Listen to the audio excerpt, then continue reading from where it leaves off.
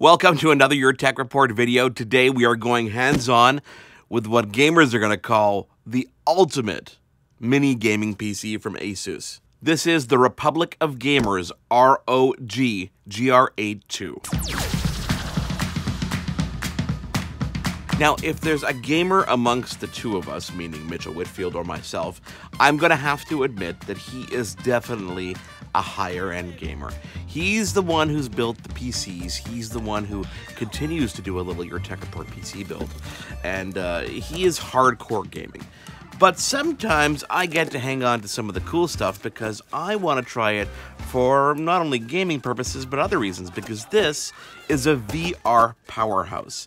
This mini PC is VR ready. It comes with customized NVIDIA graphics, Windows 10 Pro, the latest generation Core i7 processor, Intel's latest 802.11ac Wi-Fi, plus color-changing Aura Sync, RAM up to 32 gigabytes. This is definitely a desktop-grade PC in a really mini package. Let's take a look at what's inside the box over here starting with power, of course. We've got a giant power brick for this powerhouse. Giant power brick, nice long cable. Of course, you'll need that PC power supply to go along with that, uh, that cable over there. What about inside? Ugh. Surprisingly light, protected. Surprisingly, a light package uh, for the computer itself. The, the power brick almost weighs as much as the actual computer. Well protected in the in the box itself. Now, the first thing you're going to notice about this machine is design. This is a really, really, really cool design. Obviously, when they design gaming rigs like this, it's not only for aesthetic purposes, but there's a reason for obviously heat distribution and proper airflow. And they also go in there with the design and make sure the cool is really up to uh, up to where you want it to be. Not the temperature cool, I mean like the cool factor. This is a gaming PC, uh, is it not? On the front here, you'll notice the uh, headphone jack. You'll notice a microphone input, two USB adapters right there. You've got a fan on the top for cooling. You can see the heat sink through there, so you can see the air is going to flow through this uh, quite well. On the back of this, you've got the uh, digital audio output. You've got gigabit Ethernet, three more USB Type A ports. You've got a USB Type C connector port over there as well. Plus you've got a lock. And the cool thing down here is you've got two HDMI ports. If I hold that a little bit closer, two HDMI ports right next to a display port. Now, when they say this is VR ready, one of the things you'll notice if you haven't used a VR headset is that they tend to come, especially the newer ones, with a USB cable and an HDMI cable right next to each other. This is so that you can plug the headset directly into it and get that VR experience. But what that does normally is it restricts what you can output your monitor to.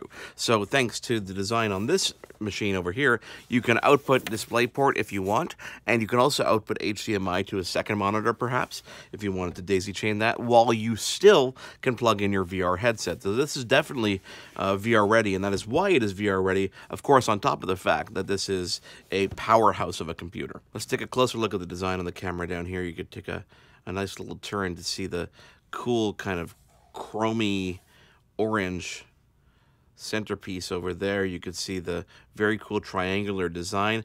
It definitely is compact. I mean, it's not one of these things you're going to carry on the road with you, but it's compact in size, absolutely. But kind of like the Mac Pro was designed to, this is designed to be on the top of a desk so that you can actually enjoy the aesthetics and people can go, what on earth is that? So we're going to plug some power in over here so we can actually see some of the color. In terms of the gameplay and actual benchmarks and testing, you can find all that stuff online. Plus, we'll list it here in the description, some cool links to the benchmarks of this machine. But it's completely customizable up to, you know, 32 gigs of RAM, the latest Intel Core i7 processors, you can configure it with a Core i5 if you want to, but you're going to probably want to max this one out because it is definitely meant to be used as a, as a gaming powerhouse. There's a custom NVIDIA GTX 1060 on board with either 3 gigs or 6 gigs depending on your configuration.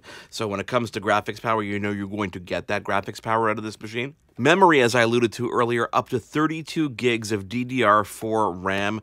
This is dual channel memory. You can have up to two DIMMs in this machine. So you could start at 8 gigs but go all the way up to 32 32 if you want to. There are two wireless cards on board this machine, so it gives you redundancy on the networking. Plus, of course, you get that 10, 100, and gigabit Ethernet port on the back as well, plus Bluetooth 4.2, so you get the latest generation Bluetooth connectivity as well. Let's talk about storage for a second. So, it comes with a 500 gig, 2.5 inch non solid state drive, but a 7200 RPM spinning drive. But you can also get up to 512 gig 2.5 inch solid state drive, so you can get incredible write speeds and incredible read speeds, especially when you're gaming on this. If you look at the front panel here now, you can already see the colors kind of rotating on the front panel of the machine. This is just plugged in. This isn't even turned on. When I turn it on, it's obviously going to do different things, and you can customize this. This is RGB, so you get the full range of color on the customization of this. So very cool glow. Obviously, if you're gaming at night, you're going to enjoy the colors a lot more on this machine than you would